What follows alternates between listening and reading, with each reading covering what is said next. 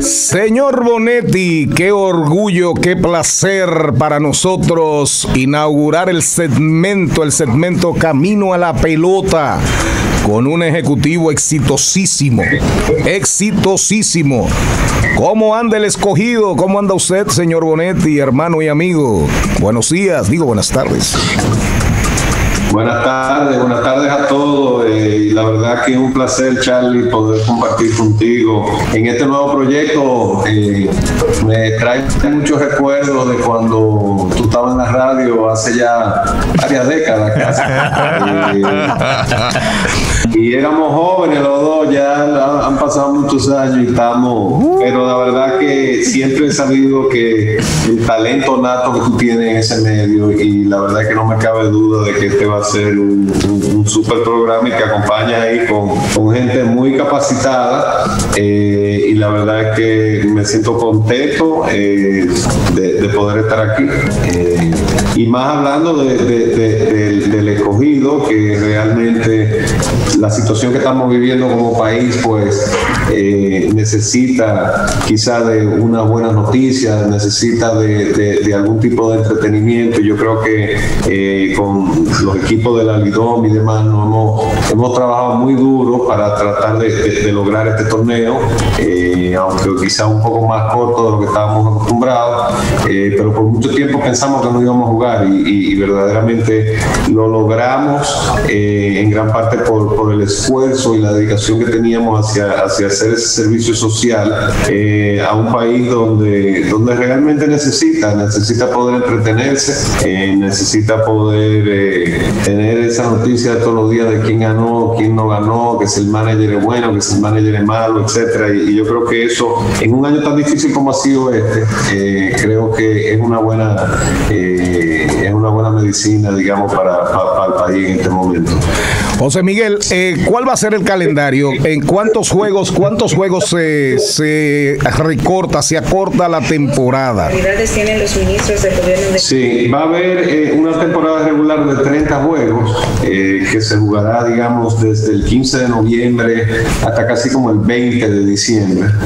Eh, al final de esos 30 juegos, eh, el equipo que quede en cuarto y quinto, el equipo que quede en sexto será descalificado. El equipo que quede en cuarto y quinto jugará una pequeña serie de, eliminación y luego de ahí pasaríamos a, dos series semifinales y luego a una, a una gran final. O sea que probablemente estaríamos jugando hasta, hasta como el 15 de enero. A nivel de, de, calendario, pues reportamos los 20 juegos de la, de la serie regular y, y, el round robin pues lo simplificamos a una modalidad más de, de, playoff que, que, estamos acostumbrados a ver en, en, grandes ligas y demás.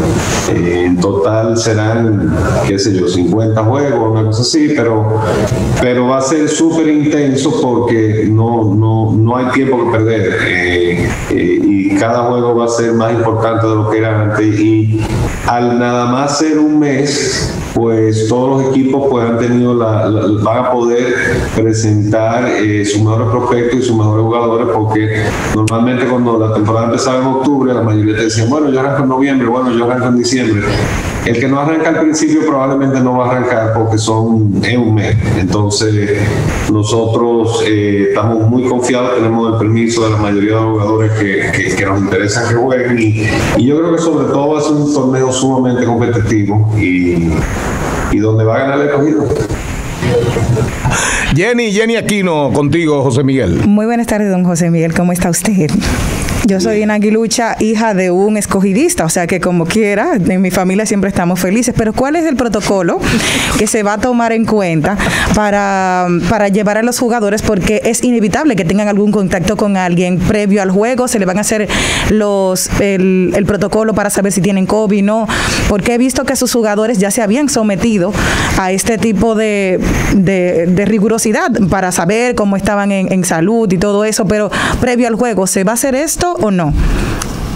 Se van a hacer pruebas, eh, pruebas PCR eh, que nos ha, el, Ministerio de Salud Pública nos las ha facilitado eh, una cantidad inmensa para todos los equipos y se van a hacer pruebas una o dos veces por semana. Entonces de ahí se determinará, pues obviamente si, si habrá que aislar o no jugadores. En el caso de nosotros, en el escogido, y sé que otros equipos lo están haciendo, pero les tocará a ellos explicar su protocolo cuando vengan al programa. En el caso del escogido, nosotros eh, tenemos un hotel donde vamos a hospedar eh, a, la, mayoría de los peloteros, no, no, a la mayoría, a todos los peloteros, a todos los coaches eh, y donde pues realmente ahí le vamos, vamos a tener una especie de burbuja en el sentido de que vamos a permitir que vayan ciertos familiares con ellos, eh, pero una vez ahí ya están sometidos a lo que es el, el, tema de la burbuja. Eh, yo sé que va a ser muy difícil porque obviamente a todo el mundo le gusta salir, a todo el mundo le gusta compartir. Hay peloteros que van a, a quizá dejar a su familia por un periodo de 30 días o el tiempo que sea, eh, pero es la forma de garantizar que, que por lo menos no, no, haya esa exposición. Lo más fácil fuera que todo el mundo vaya a su casa y le hacemos pruebas todos los días, pero como vimos en, en, casos con grandes ligas y demás, pues el día menos pensado surge alguien positivo y cambia, cambia mucho la perspectiva. También nosotros vamos a tener un, un, equipo, digamos, paralelo de algunos 12 muchachos que van a estar eh, entrenando y viviendo una vida totalmente aparte a este, para que en caso dado de que salga alguien positivo, poder entonces eh, integrarlo. Eh, no, es, no, es algo fácil, se ha logrado en otras ligas, pero es algo que va a tomar mucha dedicación, sobre todo a los peloteros de, poder realmente tener la disciplina y tener la, la, dedicación de, de entregarse. Y tenemos que recordar algo, muchos de los peloteros que juegan en esta liga son peloteros que juegan en ligas menores y este año no hubo ligas menores, o sea que hay muchos de estos peloteros que realmente esta va a ser la fuente de ingresos que ellos van a tener este año y por ende eh, hay un nivel de seriedad y un nivel de entrega eh, quizá un poco mayor a lo que había en el año anterior. Hola José Miguel, Rafael Paz de este lado. Eh, ¿Qué tal Rafael? Mucho gusto. Un placer, un placer. el escogido nos tiene acostumbrados a hacer un equipo completamente innovador en toda la parte de entretenimiento y de, y de, y de lo que ocurre fuera del play, que es complementario. Esta va a ser una temporada eh, novedosa y con este componente de la distancia social. ¿Qué de nuevo podemos esperar? Eh, ¿Qué innovación, qué, qué aspecto novedoso e impactante podemos esperar del escogido este año? Pues mira, quizás algo diferente a lo que hacíamos en el pasado, pero la, clave este año para todos los equipos va a ser la, producción de televisión. Eh, como no van a haber fanáticos, por lo menos en la mayor parte de la temporada, pues realmente nosotros vamos a tener que producir un producto para televisión eh, que sea entretenido, un producto que más allá del juego, que la gente no cambie el canal, se me vaya a otro lado y vuelve. Entonces, en ese sentido, el equipo de producción pues está trabajando para que haya, para que haya muchísimo más interactividad, para que hayan eh, tener invitados que puedan participar tal como lo estamos haciendo aquí por Zoom. Eh, innovaciones de ese tipo, realmente en el, en el, en el juego. Eh, como no van a haber fanáticos y, hay tantos protocolos y tantos controles, creo que no, no vamos a inventar mucho en ese sentido, pero sí creo que la, la, producción de televisión tiene que verse una mejoría y yo creo que la calidad de los juegos, yo creo que al, al, los juegos ser tan, eh, tan importantes todos, realmente es como que estamos entrando directamente en el round robin y yo creo que eso va a haber mucho interés en ese sentido. ¿Quién más? ¿Quién más? ¿Quién más? ¿Quién más? La comercialización, ¿cómo va? Mira, la comercialización va, dentro de todo mejor de lo que esperábamos. Yo creo que en un momento determinado la gente, pues todo el mundo nos notificó que no iba a participar y eso era más una especie de pulso que nos estaba haciendo determinar si íbamos a jugar o no. Eh, nosotros logramos un oficio eh, importante con el, con el Banco de Reserva, que lo estaremos anunciando la semana que viene, nosotros como liga, y yo creo que eso nos permite, pues entonces ya, obviamente es lo que nos va a permitir jugar, y yo creo que ya los demás anunciantes ver eh, que nosotros estamos entrando, que vamos a jugar, pues entonces ya están mostrando muchísimo más interés. Diciendo eso, y ustedes lo saben, esto es un asunto de rating, esto es un asunto de, de, de, más, y yo creo que el con el tema del toque de queda, con el tema de, todo lo que está ocurriendo, el poco entretenimiento que hay eh, fuera de que te vayas a Netflix o a un sitio así. Yo creo que la pelota este año va a ser uno de los mejores años como producto, como producto televisivo y a nivel de seguimiento en las redes, en todos lados. O sea que como anunciante, este quizás es hasta un mejor año eh, para anunciarse en la pelota que cualquier otro, porque no, va, no se va a perder, los anuncios no se van a perder dentro del ruido de todo lo demás que pasa. Eh, y yo creo que está mejorando. Mucho de la gente que nos había dicho que no iban a entrar al final están entrando, obviamente no con los montos que entraban antes, pero pero sí con suficiente para que para que podamos eh, montar el torneo y tener y, que, y tener un torneo exitoso. Jenny. Bueno, dos cositas. Primero, un comentario para todas las chicas. Este es un comentario especial. Yo he visto los jugadores del escogido, que viene a foto por ahí. No se lo pueden perder, que están buenísimos. Y nosotras nos gusta darles ese seguimiento. Y si eso es del escogido, que yo soy aquí lucha, imagínense que vamos a ver si nosotros no nos quedamos atrás con los jugadores. Y lo otro es a qué hora son los partidos. Porque como usted acaba de señalar, tendremos toque de queda. ¿A qué hora para estar pendiente de ver esos jugadores? En honor a mi papá, claro, escogida. Sí, eh, nosotros de lunes a viernes vamos a jugar a las 7 y 15 y los eh, sábados y domingos eh, vamos a jugar a las 4 de la tarde. El, tema, que, el día inaugural, que es el domingo 15, eh, estamos negociando a ver si podemos, si podemos jugar ese día en la noche, eh, para que como es el día inaugural haya más gente en, en, su casa viéndolo, pero eso todavía estamos negociando, pero real y efectivamente, perdón, los sábados vamos a jugar a las 2 de la tarde, perdón, y los domingos a las 4 tal como lo hacíamos en, años anteriores.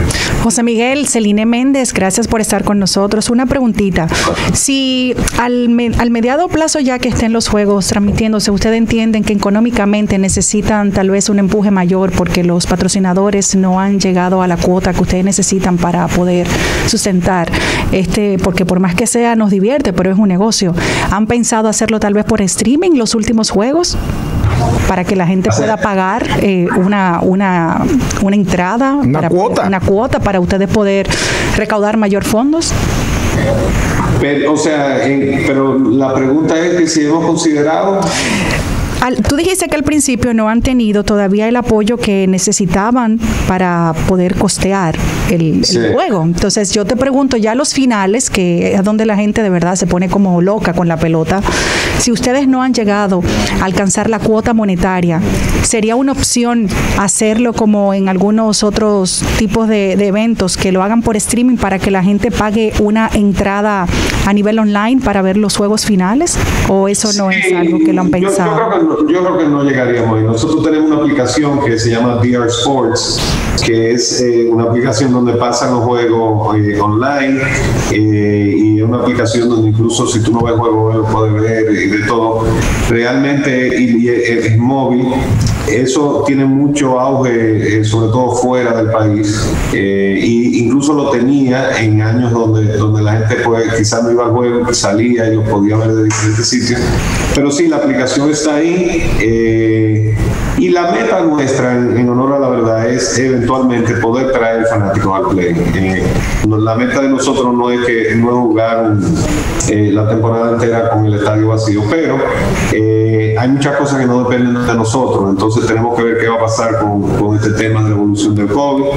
Porque a diferencia como quizás tú ves en, en otros deportes donde meten grupos de gente separados, eh, aquí el dominicano es, muy único en ese sentido. Yo creo que si nosotros dejamos entrar un dominicano, a, un, fanático al juego, tenemos que venderle cerveza, tenemos que venderle todo. Y cuando tú vienes a ver, eh, el distanciamiento social se va se va de barata. Entonces es parte de, y abrirlo sin darle comida, sin darle cerveza, sin darle nada, entonces realmente eh, no hay idea. Entonces nosotros lo estamos monitoreando y, el compromiso que tenemos con los fanáticos es en algún momento tratar lo más que se pueda eh, de que haya un fanático. Además cuando ganemos, en el, cuando el escogido gane, nos vamos a emocionar. José Miguel, no lo saben José Miguel, muchísimas gracias, hermano.